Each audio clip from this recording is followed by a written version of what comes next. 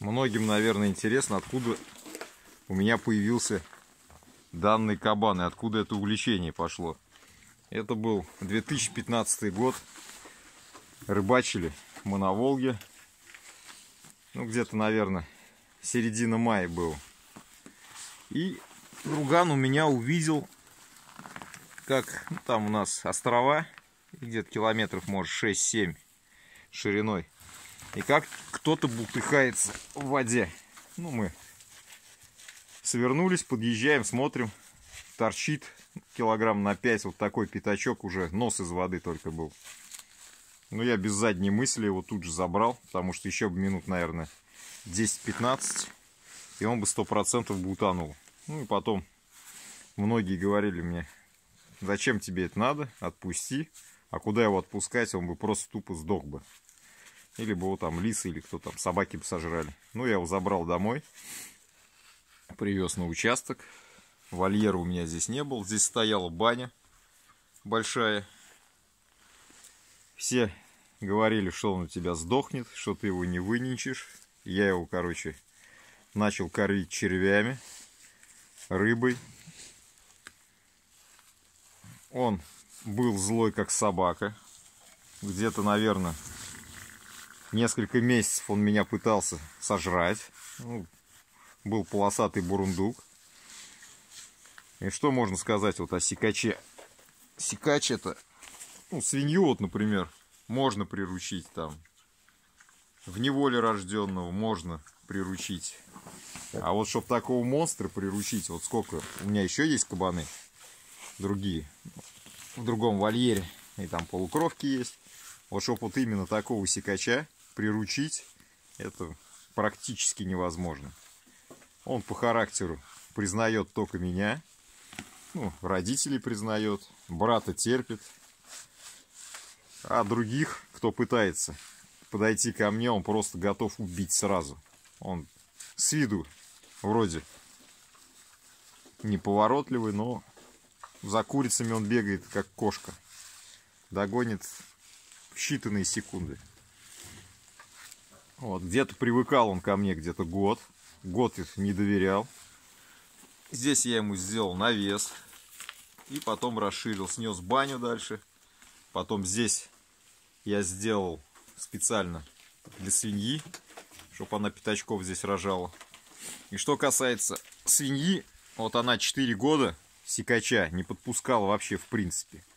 Хотя вот у меня еще, я уже говорил, есть другие кабаны. К нему я привожу, Прям меньше года он их огуливает за 5 секунд. И в вольере тоже.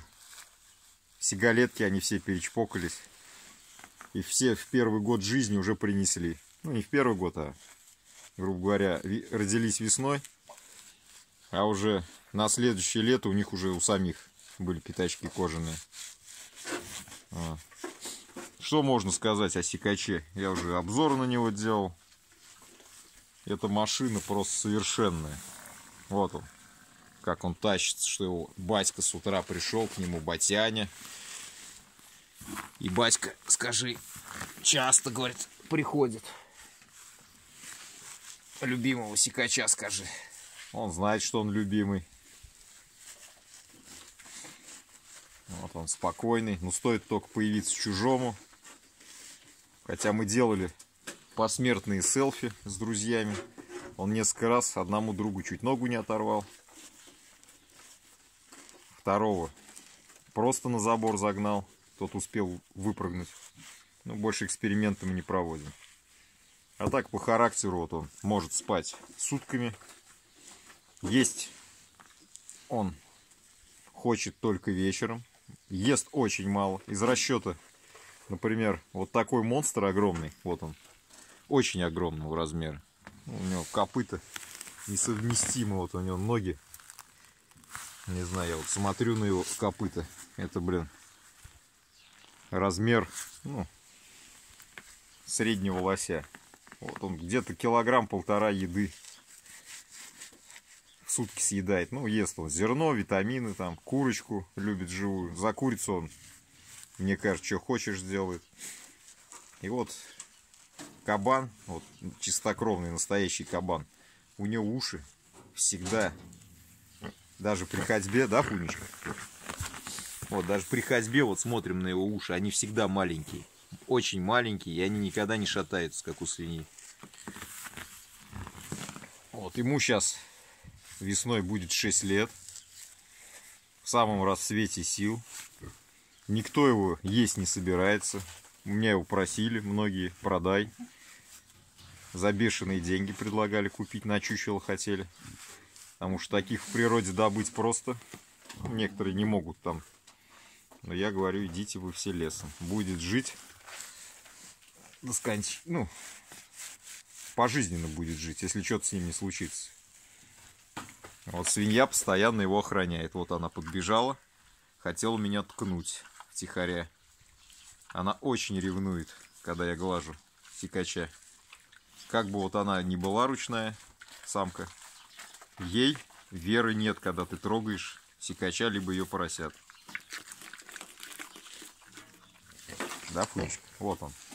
Вот он, сикач. Убийца, монстр.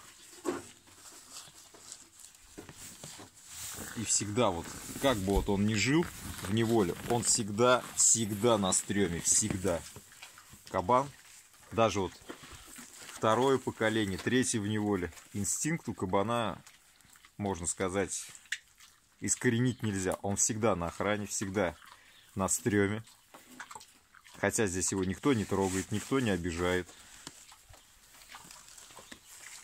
Ну, кабан это, он и в Африке кабан.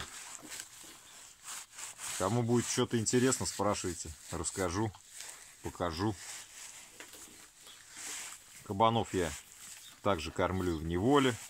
То есть и в лесу, и в болотах. Потому что сейчас зима, например, снежная. Они им очень сложно выживать, если их не кормить. А если просто тупо их убивать, ну, как многие у охот хозяйства. Вот буквально позавчера была охота в одном из них. Мы видели, я запускал беспилотник, как долбили и свиней беременных, которые через месяц рожать будут подряд пачками. Ну, там прилетали шишки, им абсолютно похер.